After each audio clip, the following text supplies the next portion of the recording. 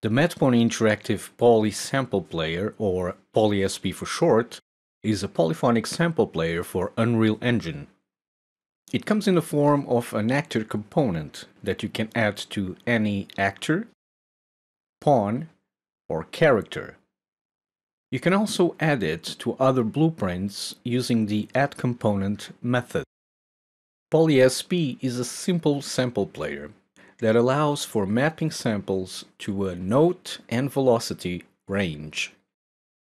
You can have different velocities trigger different wave samples. It does not come with fancy functionality like reverse, scrub, or pitch shift. It is meant for accurate playing of individual musical notes.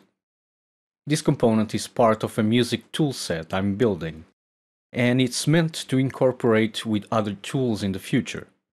Hence why it comes with a handy function library that allows for easy conversion between musical notation and MIDI functionality.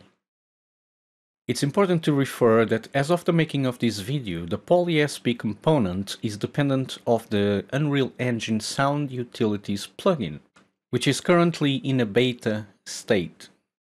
Creating a patch is pretty straightforward.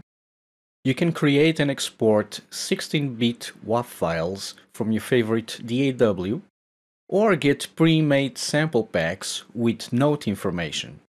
Import them into Unreal, navigate to the PolySP patches structure and add a new item to its array. Then it's just a matter of mapping your WAV files to your keys and velocities.